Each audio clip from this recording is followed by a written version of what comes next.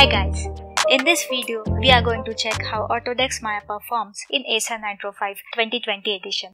This video is specifically for animation, rigging and modeling. We will also compare how it performs against a workstation. As you can see, all manipulators, translate, rotate and scale are working alright.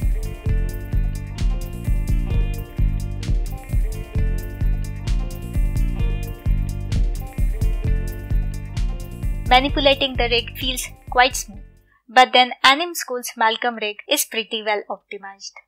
So let's check with a different rig.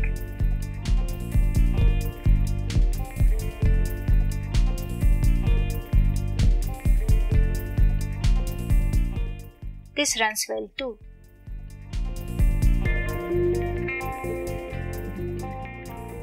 Now let's talk about the most important thing for animators, viewport playback. I'll be using some free rigs which are commonly used to see how much frame rate we are getting in playbacks. So you can see we are getting around 9 FPS in both Legacy and Viewport 2.0. I think this is pretty acceptable considering the BG and multiple characters. Here is another scene I did. This one plays around 24 FPS which is great. This one has baked cloth simulation. It is playing around 5 FPS. By removing the simulation, we are getting around 8 FPS. As you can see, the playback speed while animating is decent enough. Weight painting is smooth.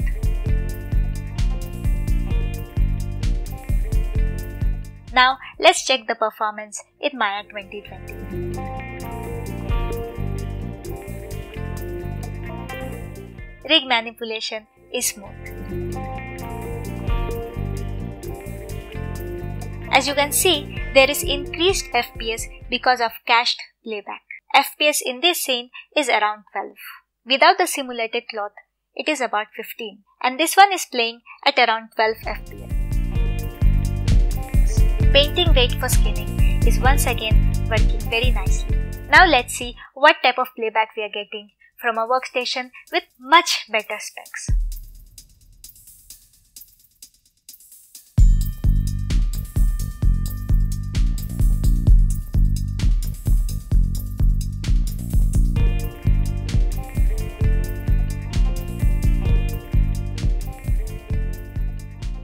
As you can see, the performance of Nitro 5 is less when compared with a proper workstation.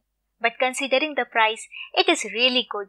The viewport FPS does reduce as RAM starts filling up, so you might want to upgrade to 16GB. In my opinion, it's a really good option for animation students who want to buy a budget-friendly laptop. Let me know what you think and do comment if you want to know anything specific about this laptop's performance and we'll be posting animation related videos. So please make sure to subscribe.